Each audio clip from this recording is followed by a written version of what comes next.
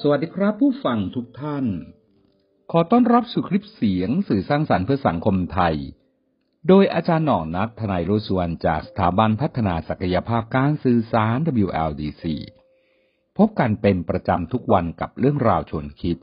แนวทางการดำเนินชีวิต วันนี้เสนอเรื่อง สิ่งที่เราได้รับในปัจจุบัน มาจากการกระทำของเราในอดีต ท่านครับคงจะเห็นด้วยนะครับว่า มนุษย์นั้นมีมากมายเหลือเกิน ที่เราเห็นว่าหลายคนนั้นทำไมมีแต่ความโชคดีทำไมอุดมไปด้วยโชคลาภทำไมทำอะไรก็มีแต่ความเจริญเติบโต ในขณะเดียวกัน เราก็ได้เห็นได้ประสบกับผู้คนที่ทำไมเขาโชคร้ายจังทำไมเขาทำอะไรไม่เจริญเลย อุดมไปด้วยปัญหา อุปสรรค ข้อขัดข้อง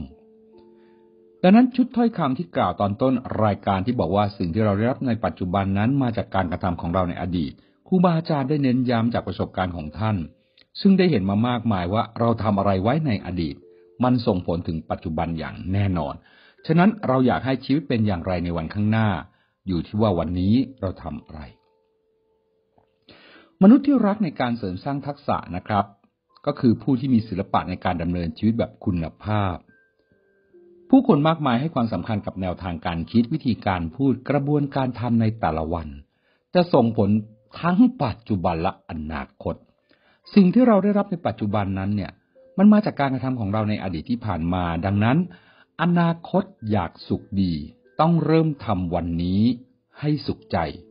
ความหมายนายยะก็หมายถึงว่า ในแต่ละช่วงตอนของแต่ละวันนั้น หลีกเลี่ยงการสิ่ง หลีกเลี่ยงนะฮะ ทำสิ่งที่ก่อให้เกิดความทุกข์ใจ มีผลกระทบต่อผู้คนในสังคม อย่าทำสิ่งใดๆที่ไปมีผลกระทบหรือไปกระแทกผู้คนนะครับ แต่ทุกการกระทำของเราในแต่ละช่วงวันนั้น ใจเราก็เป็นสุข ผู้คนก็ชื่นชมสรรเสริญ ไม่ผิดศีลธรรมไม่ผิดกฎหมาย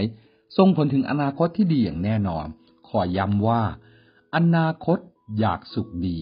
ต้องเริ่มทำวันนี้ให้สุขใจ การกระทำอะไรก็แล้วแต่ของเรานะครับ ปลีกเลี่ยงทำให้เกิดผลเสีย ความกระทบกระทั่ง การเกิดติฉินนินทา อย่าสร้างจุดให้ผู้คนโจมตีได้ แต่นั้นเพียงแค่เราสงบนิ่ง จิตใจดี มองทุกสรรพสิ่ง ภายใต้แนวคิดที่ว่า อะไรก็แล้วแต่เกิดขึ้นมาแล้วล้วนดีหมด เพียงเท่านี้เราก็จะได้ผลลัพธ์ชีวิตที่ดีแล้วครับ ขอย้ำนะครับว่า สิ่งที่เราได้รับในปัจจุบัน ล้วนมาจากการกระทำของเราในอดีต วันนี้ขอให้ทุกท่านมีแต่ความสุขสนุกกับการดำเนินชีวิต พบกันใหม่ในวันพรุ่งนี้สำหรับวันนี้สวัสดีทุกๆทท่านครับ